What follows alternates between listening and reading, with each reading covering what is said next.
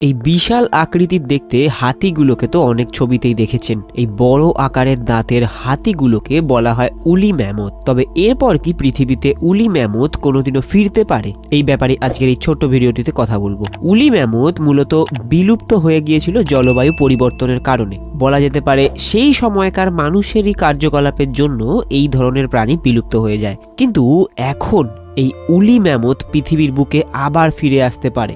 জলবায়ু পরিবর্তন এবং দীর্ঘ সময় ধরে শিকার করার ফলে এই ধরনের বিভিন্ন প্রাণীরা বিলুপ্ত হয়ে গিয়েছে। গত কয়েক শতাব্দীতে বিলুপ্তির পথে চলে গিয়েছে বিভিন্ন ধরনের প্রাণী। এবার তাদের ফিরিয়ে আনার কথা ভাবছে বিজ্ঞানীরা। একটি বায়োসায়েন্স কোম্পানি মানুষ ও জলবায়ুর পরিবর্তনের কারণে ক্রমশ বিলুপ্তির পথে চলে যাওয়া প্রাণীদের ফিরিয়ে আনার চেষ্টা করছে। যদি তাদের এই চেষ্টা সফল হয়, তাহলে আগামী পাঁচ বছরের মধ্যে উলি ম্যামথ আবার পৃথিবীতে আসতে পারে।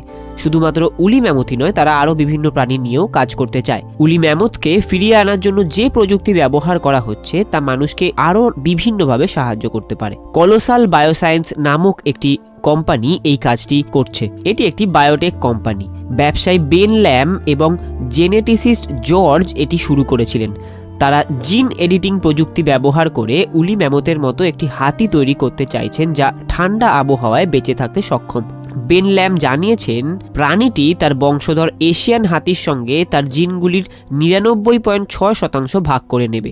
তবে বাকি পয়েন্ট ফোর পার্সেন্ট জিনোম পরিবর্তন করার পরিকল্পনা তারা করছেন, যাতে নতুন করে আসা হাতিটি ঠান্ডা সামলাতে সক্ষম হয়। এবং এগুলি করা হবে জিন এডিটিংয়ের সাহায্যে। এবার আপনারা ভাবতে পারেন যে জিন এডিটিং আসলে কি। ভিডিও এডিটিং তো শুনেছেন, কিন্তু কি এই জিন এডিটিং? এর পুরো অর্থ হলো সিআরআই এসপিআর জিন এডিটিং। এটি আসলে কাঁচি দিয়ে কেটে অন্য একটি জিনিসের মধ্যে বসিয়ে আবার সেলাই করে দেওয়ার মতো একটি প্রযুক্তি। মলিকিউলার সিজার ব্যবহার করে এক্সটিংক্ট ডিএনএ এশিয়ান এলিফেন্টের জিনোমে বসিয়ে দেওয়া হবে। এই প্রযুক্তিতেই ম্যামথকে ফিরিয়ে আনার প্রক্রিয়া সম্পন্ন করতে চাইছে বায়োটেক কোম্পানিটি। প্রসঙ্গত জানিয়ে রাখি, প্রায় চার হাজার বছর আগে এই ম্যামথরা পৃথিবী থেকে অবলুপ্ত হয়ে গিয়েছিল। তখন চলছিল আইস এজের শেষ ভাগ। তাই আর্কটিকের ঠান্ডা আবহাওয়ায় এদের ফিরিয়ে আনতে চাইছেন বিজ্ঞানীরা। কিন্তু এই ম্যামথগুলিকে আর্কটিক আবহাওয়াতেই কেন ফিরে আনা হচ্ছে, তার জবাবে বিজ্ঞানীরা জানিয়েছেন জলবায়ু পরিবর্তনের বিরুদ্ধে লড়াই করা। অর্থাৎ সেই লড়াইয়ের অন্যতম সৈনিক হবে এই নতুনভাবে ফিরে আসা ম্যামথগুলি আর্কটিক অঞ্চলে থাকে পার্মাফ্রস্ট। এর নিচে থাকে বিপুল পরিমাণ কার্বন। ওই কার্বন নির্গত হলে তা কার্বন ডাই অক্সাইডের থেকেও পরিবেশে বেশি ক্ষতি করে।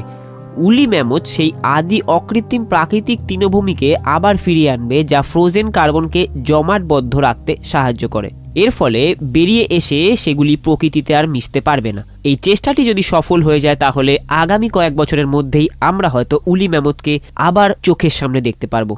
ভিডিওটি কেমন লাগল অবশ্যই কমেন্ট করে জানাবেন। কথা হচ্ছে পরের ভিডিওতে।